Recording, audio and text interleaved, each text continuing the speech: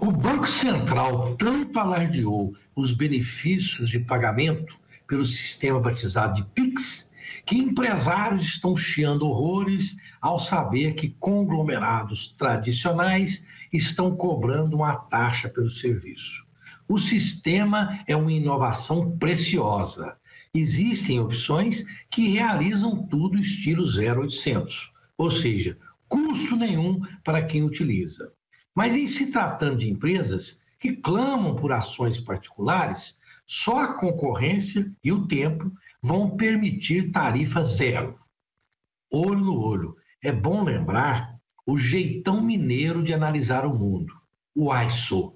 Banco é banco. Banqueiro nunca vai para o jardim da infância brincar em serviço.